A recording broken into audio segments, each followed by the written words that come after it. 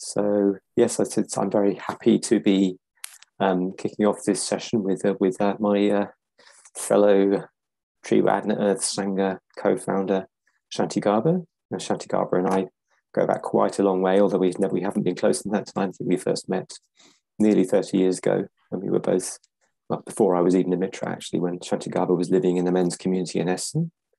So what's he been doing since then? Well, he is fairly clearly a Buddhist activist and mediator and lover of life. And I love that bit. Yeah. So he's the author of The Burning House, which is what this session is all about. So, which is a Buddhist response to the climate and ecological emergency, which has recently been released by Windhorse Publications. So, bringing together Dharma and practical activism. And he's a member of the Triratna International Council, as well as being a regional order convener, a member of the Restorative Coordinating Group, a nonviolent communication trainer and partner to Gazina, which doesn't leave him a lot of free time by the sound of it. And he and Gazina live in Bristol in the UK. So without further ado, I will hand over to Shantigarbha. Oh, sorry, before that, I should probably make some housekeeping points. So um, uh, you're all familiar with this, but I would just reiterate the usual. So please um, remain muted and um, all of the, the uh, chat communications will be directed to me. But it might be good just to sort of hold off on the chat until the content has been delivered, and then we can all focus fully on, on what we're doing. So just a couple of points to bear in mind. Okay, Shantigarbha, over to you. Thank you very much, Akasha Raja. Um, yeah, very, very pleased to uh, be introduced by you and uh, to keep our connection, uh, our warm connection alive.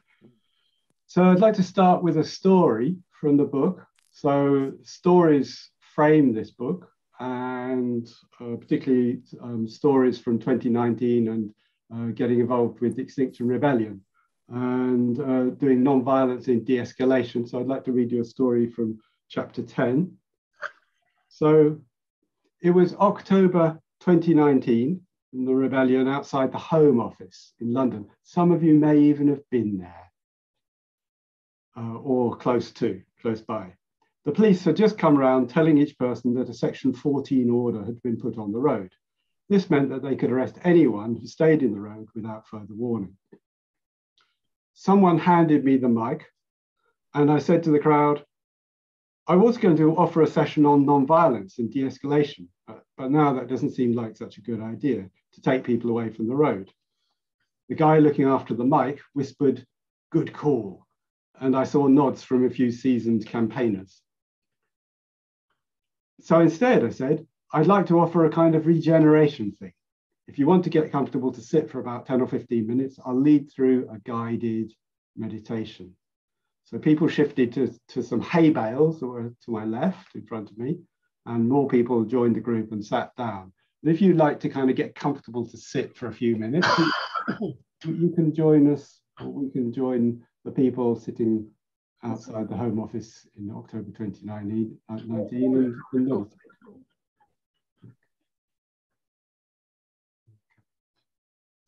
So I started like this.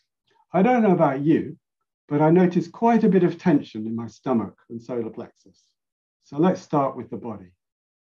When you're ready, bring your attention to your skin and then inside your skin getting an overall sense of your body. And allow your attention to trickle down your torso, all the way down to your legs, to your feet, and your toes. Picking up sensations in your toes, being furthest away from headquarters. Soles of the feet, heels and ankles, calves, knees, sitting bones, allowing the earth to take your weight. Pelvis, lower back, upper back, spreading into the shoulder blades, and down the arms to the elbows, forearms, and hands with fingers and thumbs.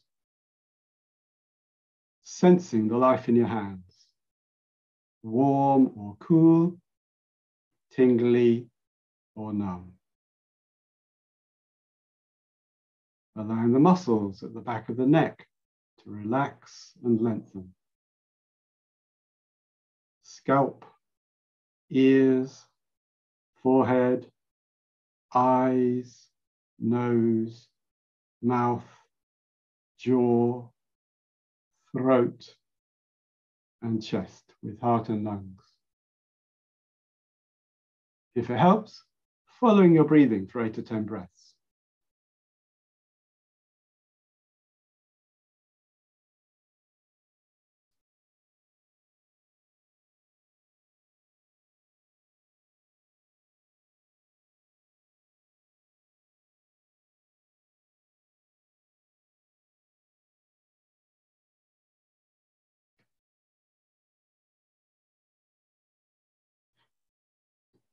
Now sensing what you're feeling, checking in around the heart.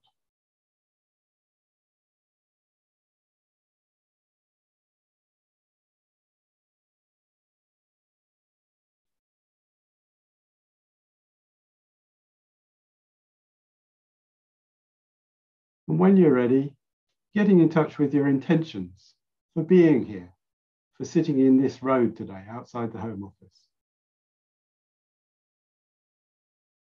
Perhaps to do some healing, perhaps to help create the kind of world you want to live in, kind of world that you'd like to pass on to your children and grandchildren.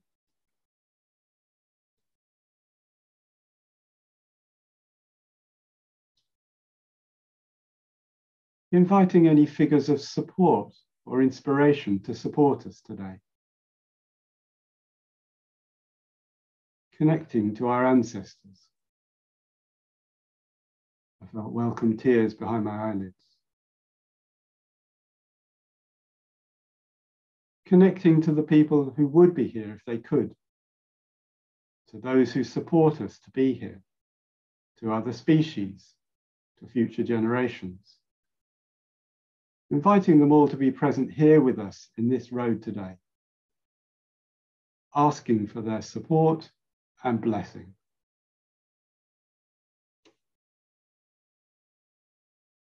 I chanted, May all beings be happy and well. May all beings be happy and well. Others joined in, and we chanted together for a while, then came, came to silence. When you're ready in your own time, open your eyes and look around, taking in the other people who are here. I paused. I'd like to hear from two or three people. What, what comes up for you? What's in your hearts?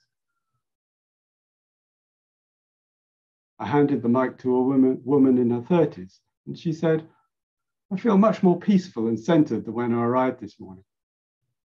And at the same time, I feel sad. I asked, What's the sadness about? She said, I'm just sad about the planet we're leaving for our children. I said, A note of grief. I wonder who else feels this grief about the planet that we're handing on. Nearly everyone's hand went up. I said, It's worth giving this grief some space some care, space for mourning. It will give us some weight and some solidity as we go through the day. I paused. I guess that's it for me, I said. People applauded. I got up from the ground, wondering about saying my name, but it didn't seem needed. So I walked away feeling quite vulnerable, quite wobbly, and quite vulnerable, and at the same time, deeply fulfilled. It was as if I, do- I dropped a depth charge into my psyche. Writing this now, I can still feel the tearfulness and vulnerability.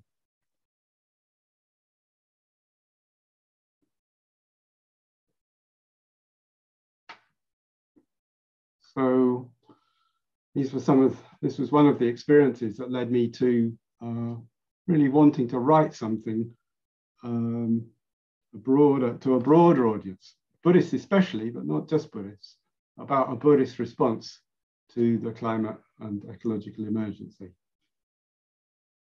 It's easy to shy away from this issue uh, that's kind of staring us in the face. Overwhelm and fear and even grief are common responses. So, how can we, as Buddhists, use our practice to stay engaged and to make a difference? So that's really those are really the questions I'm asking in this in this book and exploring in this book.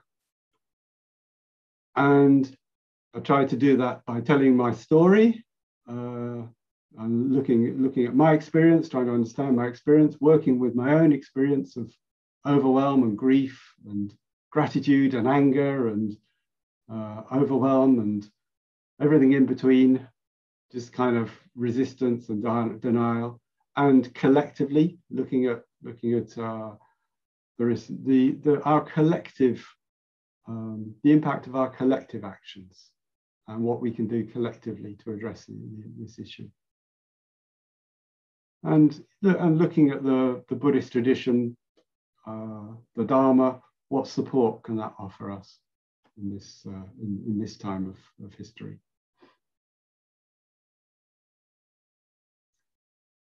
So sometimes on these book launches, I, I say, well, is it an emergency?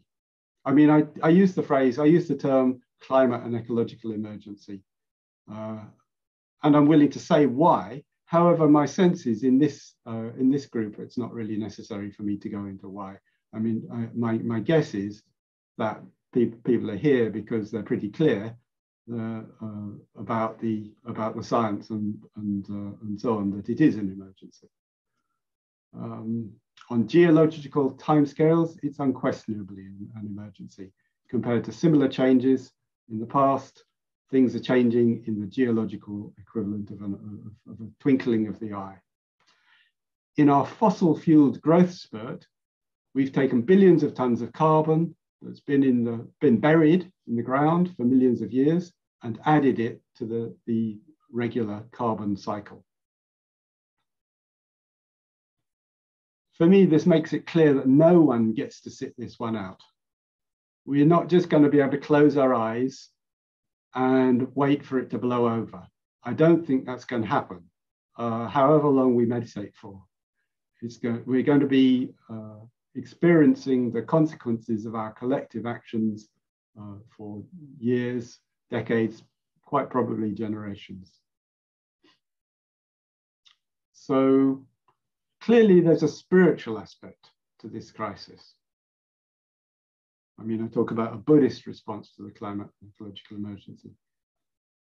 From a Dharmic perspective, it could be seen as a crisis of empathy, a crisis of imagination. Well, I would say that because my first book was on empathy. So I would, you know, I do look at things in terms of empathy, in terms of uh, that our imaginative capacity to, to, you know, to, to, to identify with the experience of other people, to imagine the experience of other people. In terms of, in, in, in the climate and ecological uh, emergency, uh, empathy is really our ethical imagination. It's our ability, it's, a, it's an essential aspect of our, of, of our um, uh, capacity to act ethically. Because unless we can imagine the impact of our actions on others, we're unlikely to be able to decide skillfully what is going to contribute, what is going to support uh, and alleviate suffering. And I say it's a crisis of empathy because unless we also engage with the, a corresponding shift in consciousness, trying to change the institutions and the social practices in the outer world is unlikely to uh, unlikely to last, unlikely to stick, unless there's also a corresponding change in consciousness. So how, how can we face this emergency, take responsibility and act proportionately, or find our role within this, uh, within this kind of emergency? What would a Buddhist response to the climate and ecological emergency look like? What would it sound like? What would even what would it feel like for each one of us? and collectively. So as I mentioned last night in a uh, conversation with Devon, in 2019, Greta Thunberg famous, famously told the world's leaders, I want you to act as if the house was on fire. And that was my cue. I thought, now I know how to write this book because that, that, that, that the um, Greta's uh, um, encouragement to the world leaders takes me right back to the parable of the burning house from the White Lotus Sutra, uh, which I studied in, had some wonderful time studying in the uh, Mitra Study series, uh, the Triratna Mitra, Mitra Study series. So in the parable, the burning house is, is um, on fire with the flames of greed, hatred, and delusion. And guess what? The climate and ecological emergency, well, the house is also on fire with the flames of greed, hatred, and delusion, or at least ignorance. Now, we can claim that we didn't know what was going on. That doesn't, all, that, that doesn't mean we won't experience the consequences of our actions collectively. Uh, we, we're going to, we, we will be doing that. We are doing that, we will be doing that. So how do we get people out of a burning house when they don't even know that the house is on fire? This is, this is uh, a kind of a, a, way of thinking creatively about this issue. Uh, so in the, in the parable, the father is trying to get his children out of the burning house. And there are many, many children. And he, the first, his first go at trying to get them out is to say, the house is on fire. Get out of the house immediately and they take no notice at all of that.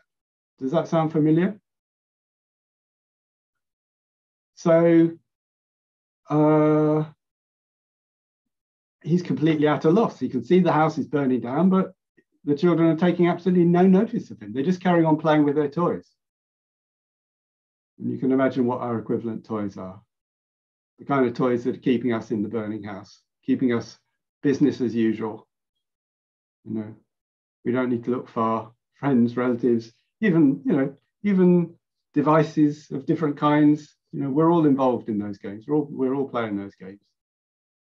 However, the father um, has a moment of inspiration, a moment, a sudden, a flash of inspiration, and he realizes he knows what kind of toys his children like. So he he says, "Hey kids, there are some wonderful toys outside, just outside the house, even, even more wonderful than any toys you've got hold of at the moment. Uh, better even than the, than the toys on TV. Okay, and you can play with them until bedtime. So when he says that, the children just rush out of the house as fast as they can. Uh, they fight each other to get out of the house. So he, so the father has a moment of inspiration. He, he presents a vision of what life could be like outside of the house, which is enough to get them out of the house. Then we can talk. Once we're out of the house, then we can talk about, you know, what happens next, but it's just enough to get them out of the house. So I wonder what would be our equivalent what would be our, our equivalent cry of inspiration in the, in, in the climate and ecological emergency? What could be our equivalent? We need a compelling vision of the Dharma for these times. A compelling vision which is enough to catch people's attention and also to uh, enough so that actually they're interested in getting out of the house to safety. So I'll just let I'll just pause for a moment and um, maybe just yeah maybe just take a minute to reflect on on that question. What's what could be your or our equivalent cry of inspiration? And then I'll ask for some responses in the chat. Just sort of brief responses, please, rather than essays. Just maybe a couple of sentences.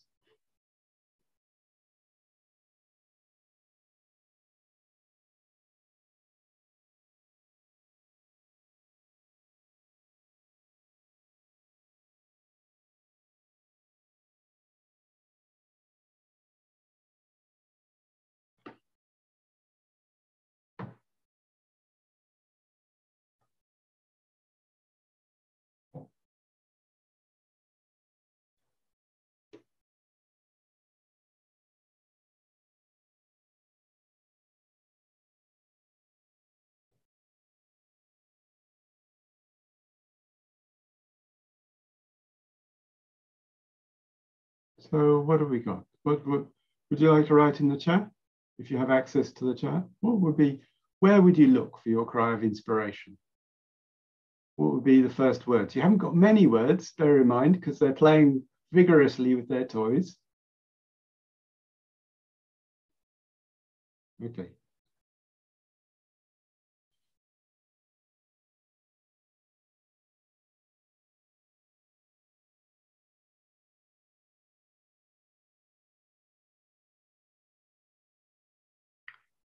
Oh, Tracy says, well-being, joy, contentment. Okay, so the message of yeah of, of well-being, yeah, which we do try to communicate through the Buddhist centers. Sense of well-being, yeah. Okay. Anybody else?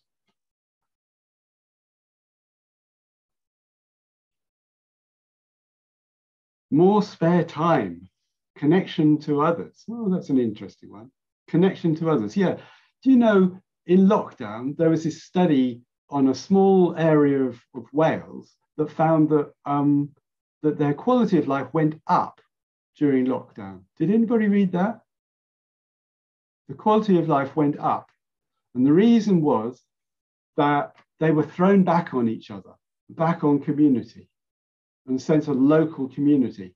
And actually, their, their quality of life went up because of that, because of that sense of community, that sense of Sangha what we would call Sangha. Yeah? And they're supporting each other, mutual support, mutual care, mutual responsibility. Yeah? Happier, more fulfilling lives, says Andy. Yeah, so in, yeah, more generally speaking, yeah, potentially more fulfilling.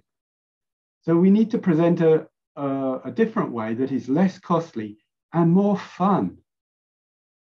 More fun. It's got to be fun as well, or at least very fulfilling. Otherwise, they're not going to leave the toys they've got. We're not going to leave the toys that we've already got. You know, there's some very compelling toys out there, as I'm sure, as I'm sure you know. Rachel says freedom. Uh, Karsha says appreciation of individuals rather than consumers. Yeah, it's very easy to kind of settle into that kind of consumer mentality uh, on all sorts of levels of like, you know, you pay the price and then you receive the goods in return or the services. It's very, very easy to settle into that kind of mentality on all sorts of levels, including when it comes to, you know, the spiritual life or the Dharma life. Yeah. And while I was writing the book, as a, as a, as a, as a kind of note on that, I, re I, really came up against my own sense of helplessness and powerlessness in relation to the climate and ecological emergency. And I started questioning that and kind of challenging that. And, and I came, I came to, to think that um, that sense of powerlessness and helplessness is, at least to some extent, uh, a social construct. It's, it's, it's part of our consumer society that we just sit back and consume. As long as we've got the cash, as long as we've got the resources to pay for those goods and services, we can just sit back and consume and all our needs will get met that way. And um, at the same time, it also induces a sense of kind of powerlessness. Even, even watching the telly um, or YouTube or whatever, it's, it has that same kind of consumer kind of that built-in sense of kind of I don't know, yeah, a kind of powerlessness, kind of helplessness that there's somebody else who's producing all this stuff, we're just absorbing it and receiving it. So maybe that's not doesn't ring true for you, but that, that's what came up for me while I was writing this book. And and I came to think, well, actually, I do have some power here. I have, I and, and I have some power, and I tried to, you know, wanted to write a book, and I wanted to encourage us collectively to challenge that sense of powerlessness and helplessness, and also to bear in mind that we're much stronger collectively than we are individually. However strong we are individually, collectively we have a much stronger voice. And when we come back to the puja at 7 p.m. this evening, the uh, puja based on Akapa's uh, Shambhala Warrior Mind Training verses, that is one of the themes in that puja about letting go of the idea that we have to do this alone and really moving into the sense of uh, collect, a collective sense of uh, addressing this. And this could lead, as Joy says, to less anxiety or more of a sense, more peace of mind, which is another way that we could talk about uh, a cry of inspiration. Okay. Another avenue that we could explore for this cry of inspiration could be from the in relation to the Buddhist tradition could be interconnectedness. And I said something about this last night, so I won't say so much this morning, but uh, just uh, reminding us of the beauty and intricacy and intimacy of our connections with, with all phenomena and all beings. And that in itself could be enough to, to, to, to just bring about an awareness of oh yeah, well, we're connected with all beings. So also in a way we have, we, we're responsible for our actions and our actions have an impact on all beings as well. Yeah. And I last night I invited people to to just visualize Indra's net or my version of Indra, an updated version of Indra's net, which is just to imagine the night sky in a sky free of light pollution, and the clouds have parted, and we're looking at the whole panoply of stars, almost an infinite number of, of stars.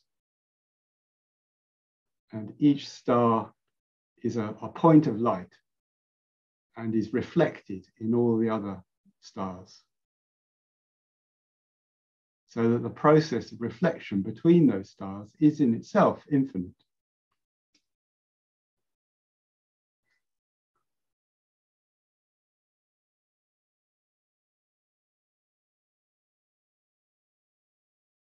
So this is an ecological understanding of the Buddha's teaching on pratitya samutpada or dependent origination.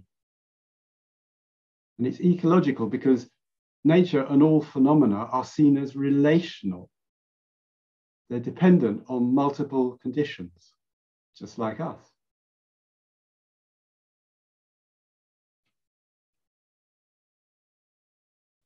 And intention is also part of this net human intentions are also part of this net, this, this net of Indra's, Indra's jewels. In fact, they're crucial. They're absolutely crucial because we have impacted this net of, well, in the case of you know our biosphere, we've impacted that through our intentions, through our choices.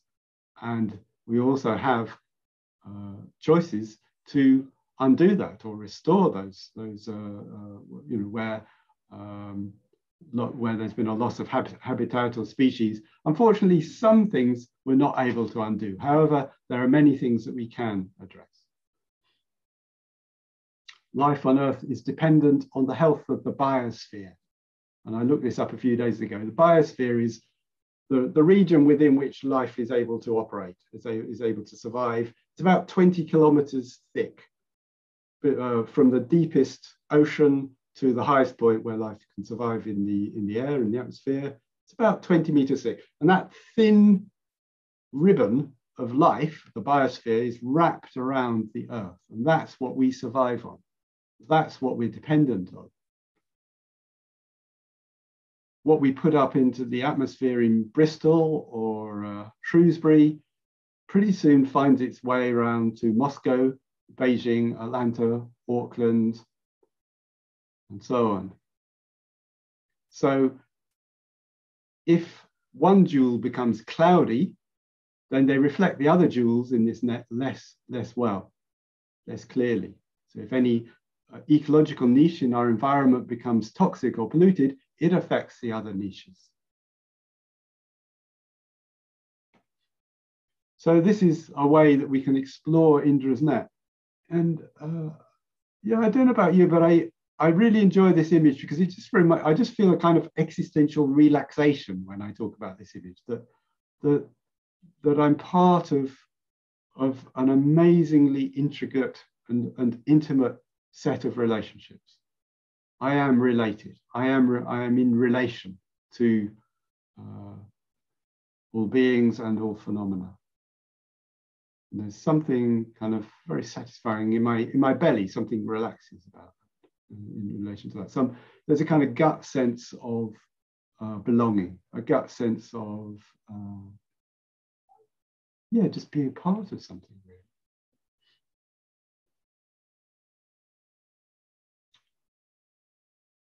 Just pausing for a moment, just taking a breath to take that in. And if you have any comments or reflections, you could write them in the chat.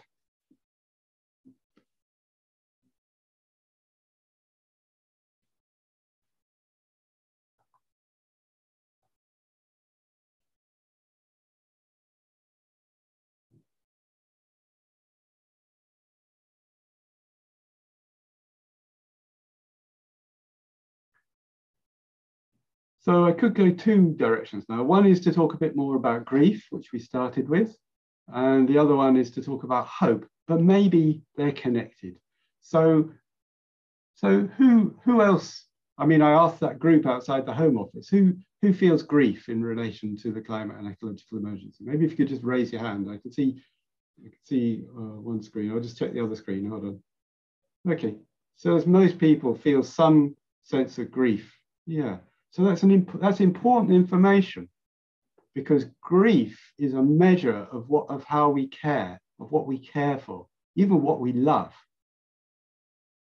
Yeah. So I really try when I notice that grief, I really try rather, rather than pushing it away, I try to give some space to it, some some acknowledgement to it, some kindly awareness to it, because it really is a measure of uh, yeah, as I say, it's a measure of what we of what we love of our love for the earth.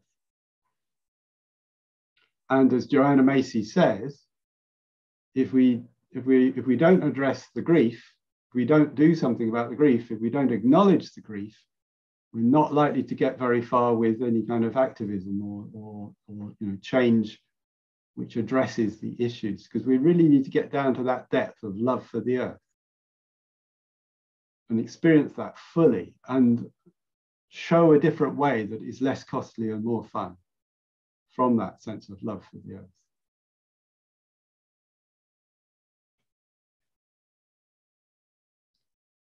Gunopata says, living with love and gratitude does affect others around us. Yeah, living with love and gratitude. So it's not just grief, it's also gratitude as well. If we can hold both of these. Yeah, grief and gratitude. And they, they actually they don't confound each other, they deepen each other. That's what I've noticed as I've explored this with groups around uh, the country and around the world on Zoom. So, gratitude for the earth. Gratitude. So, what are you grateful for being alive on this earth? Maybe just take a moment to reflect on that.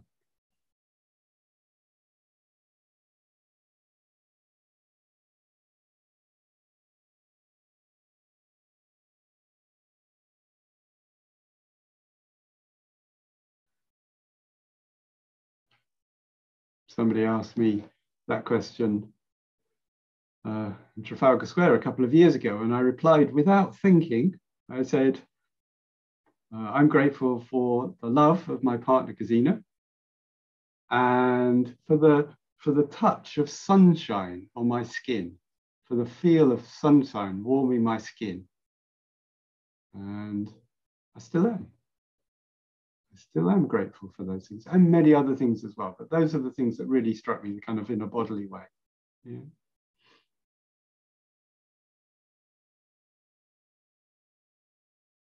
Again, it's that sense of gratitude, of love for the earth, which is going to, uh, which is going to motivate us. You know, love, compassion is what will motivate us to uh, protect and care for the earth.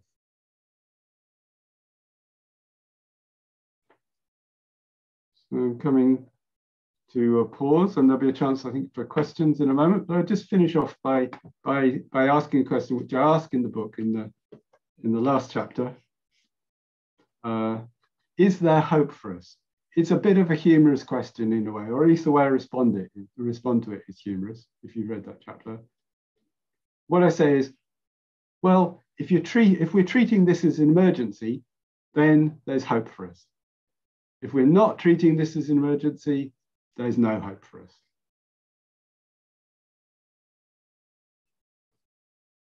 However, perhaps a bit more seriously, uh, I have confidence and trust that the climate and ecological emergency has the potential to awaken us individually and collectively to enlightenment. I see a kind of pathway. I see a door opening in this emergency, in this, in this crisis, that, that we could go through collectively. We, I think we, know, it's clear we need to go through that door collectively rather than individually because it's, it's on a, uh, because of the scale of the issues. It's, it's very difficult for us individually to get our head around the, the scale of these issues. In an emergency, we can trust in emergence. Emergence is another way of talking about uh, contingency or uh, samutpada or uh, how things arise in dependence upon conditions. It's quite unexpected things arise emergently. They, we don't know what will happen. We don't know what will, what will emerge. And how we respond now is crucial. It will provide the template for future responses. That is the importance of our actions right now. It's given me a much keener sense of my own responsibility for my actions, for the, for the consequences of my actions, or the likely consequences of my actions acceptance, compassion, cooperation, and empathy will lead to different outcomes than judging, blaming, punishing, and denial. They'll lead to very different worlds. And I'll leave you with a question for now. I'm happy to happy happy to uh, read questions in the chat and respond to questions in the chat. I'll leave you with a question that's plagued me since, since uh, I heard it. So what kind of ancestors do we want to be? What kind of ancestors do we want to be?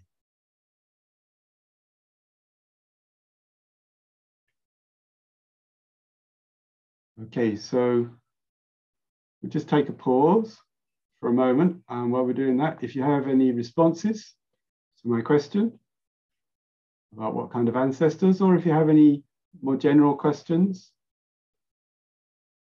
or topics from the book, then please uh, write them in the chat.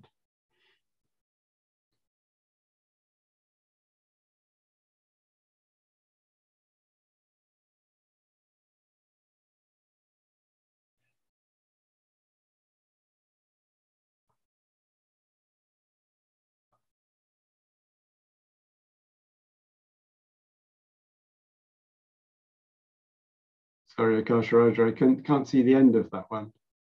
Something about hope? I'm tapping it, I'm typing it now, Shantika. Okay, okay, okay.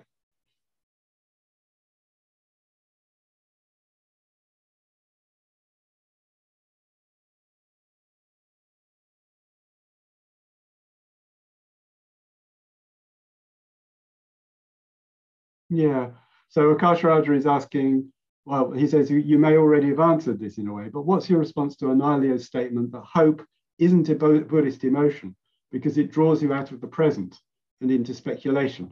Well, I, I tend to agree with that.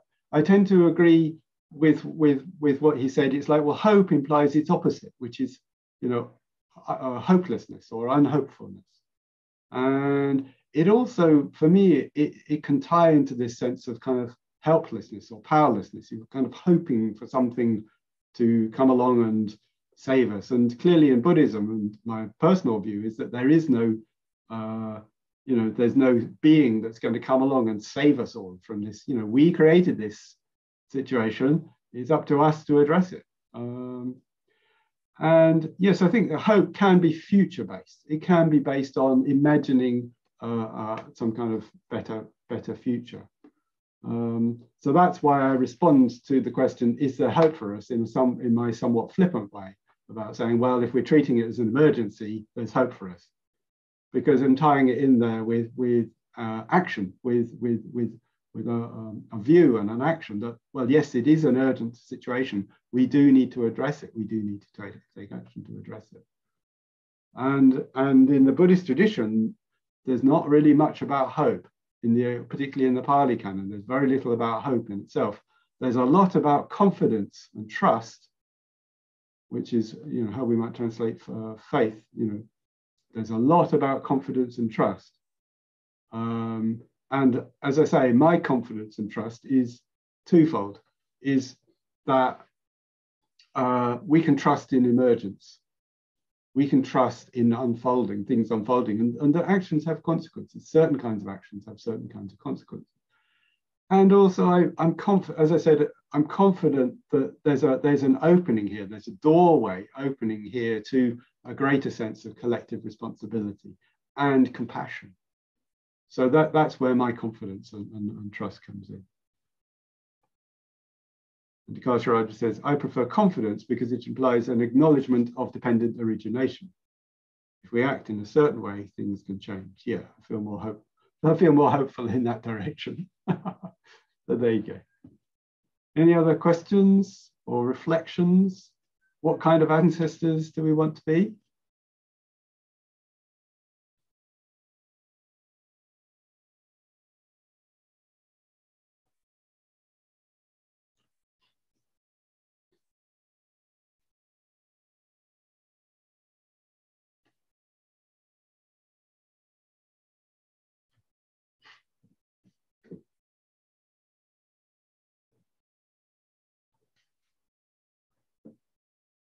So while you're typing, oh, okay, here comes one from Tracy. Can we align hope for emergence with faith, as for example, faith in potential for enlightenment? Or would you see these two things as very distinct from, from one of from uh, distinct from one another? Can we align hope with faith, as for example, faith in potential enlightenment? Hope I don't really see, I don't have hope in emergence. I have confidence in emergence. It's a bit different. I don't hope for emergence. I guess I, I guess I kind of have confidence that that things arise independent of one conditions and our actions have our actions have consequences. Yeah. Akasha Raja wants to be one of the ancestors who help turn the tide. Okay, that's the kind of ancestor you would you'd like to be. Okay. And Pearl asks, in practical terms, where to start to overcome lethargy, powerlessness, and helplessness? Well, I think starting with, with self empathy or self compassion, really just acknowledging the depth of those feelings. So, not pushing them away, but actually uh, welcoming them. So, saying, well, all feelings are welcome. And in a bodily way, experiencing those feelings and the heaviness and the dread that comes with those feelings, the sense of the sense of kind of lifelessness that comes with those feelings, acknowledging that, fully, fully experiencing that, and exploring what's behind or underneath that. What, what's the longing? What's the motivation? What are we longing for? What is it that we that is precious to us, that is leading to those things? And I would guess in my work, looking at look, looking inside, I would guess it's to do with uh, a sense of aliveness, a sense of connection with life, a sense of belonging even to life, a sense of vitality, and maybe a sense of care and even protection for the earth. I would guess, looking looking inside myself, I would guess it's the, those kind of things are what, what, what is most precious to us. Maybe even love, maybe love for the earth, love for the beauty and the richness and the creativity of the, of the natural world, and a sense of, of belonging, taking, a, uh, taking our place in that, in that beauty and richness.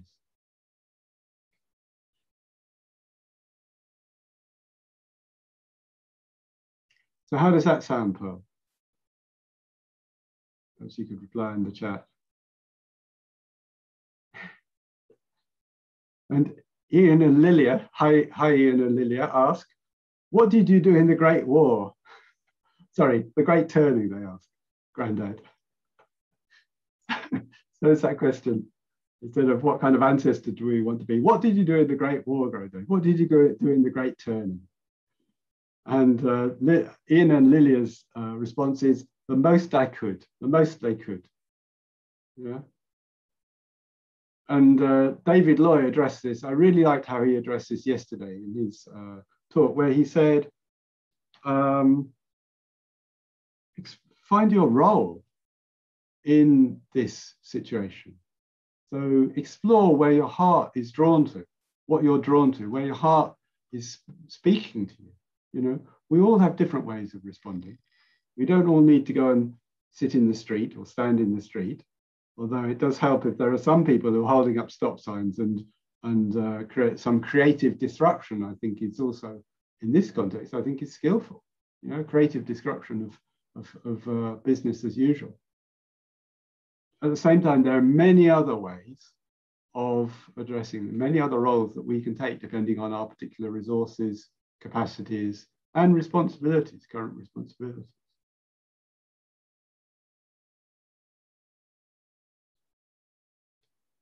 Okay, so uh, any more for any more before we close?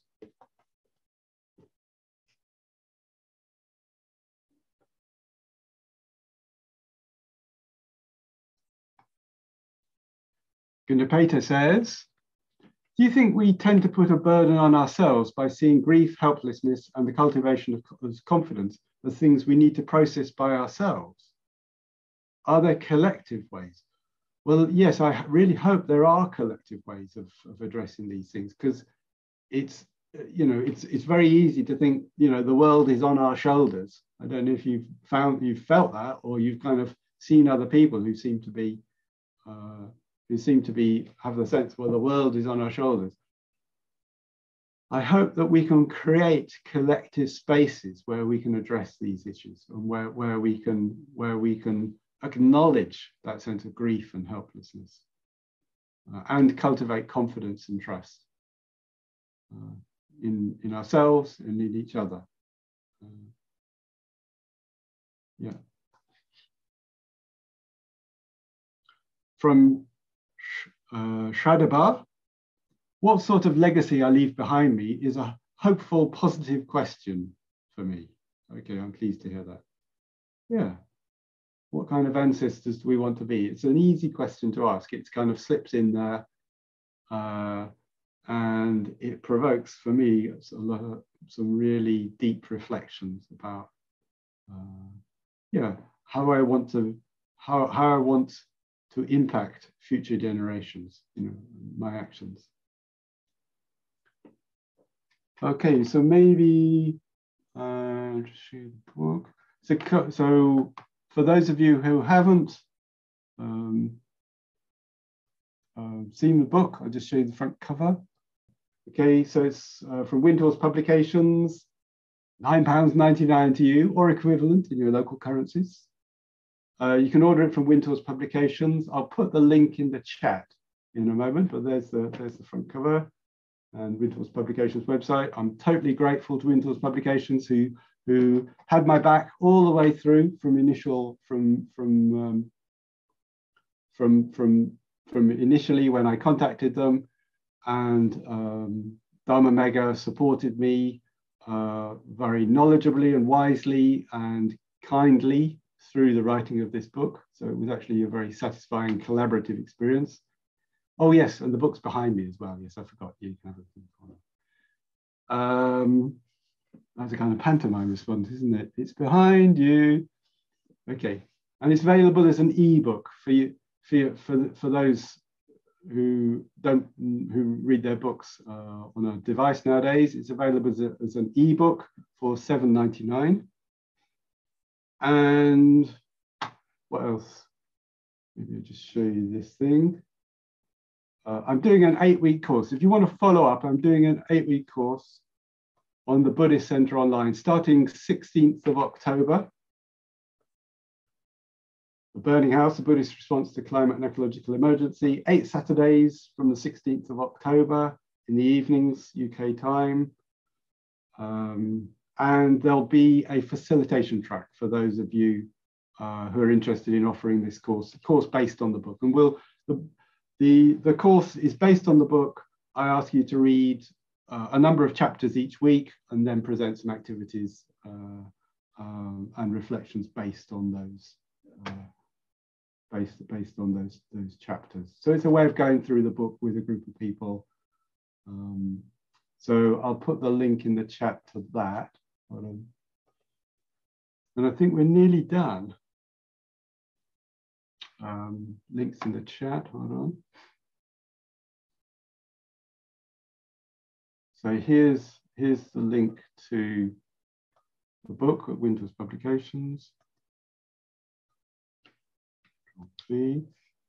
No, it's not that one. Mm -hmm.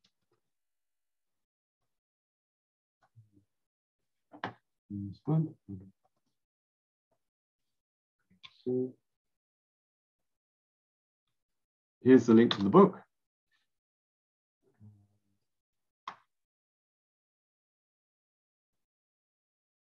See, here's the link to the eight week course if you can make Saturday evenings, UK time. All right, I think we're just about done. So handing back to Akasha Raja.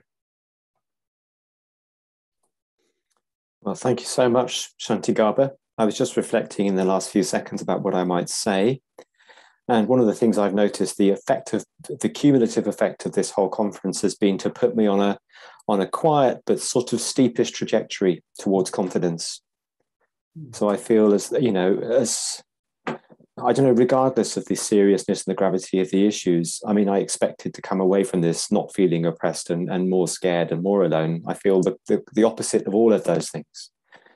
You know, I too have confidence in emergence. And having heard, you know, Shantigarbha as the last of a whole list of, of inspiring speakers, I, I see no reason to change that. That, you know, that going forward, that we can make a difference, that we, we, we have every reason to be confident in the workings of positive emotion and positive action in the world.